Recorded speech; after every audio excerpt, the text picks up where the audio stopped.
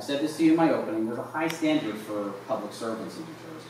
There's an even higher standard for police officers, and an even higher standard for that for chiefs of police. You heard testimony from one witness from the prosecutor's office, Detective LaGuerre. Just like to review a couple of things that Detective LaGuerre told us, both through his testimony and through his report. He didn't interview the chief.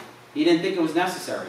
You know why he didn't interview the, interview the chief? Because he took Business Administrator Rogers' word for it that what the chief was doing was appropriate.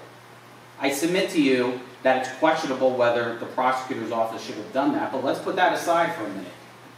The central issue you need to take from that is that Business Administrator Rogers was not being straight with the prosecutor's office. He said, I have no issue with this. I have no issue with the chief working all these jobs during the week.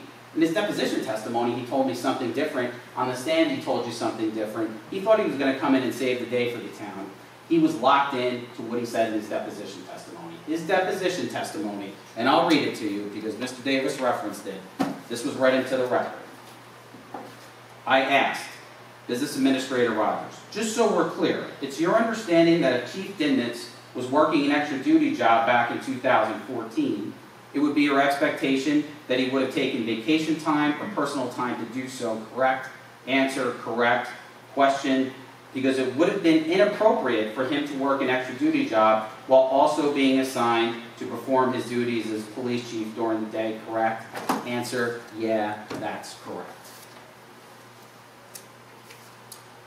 We also have the email from the chief of police. I think it's exhibit P15. Morristown Green.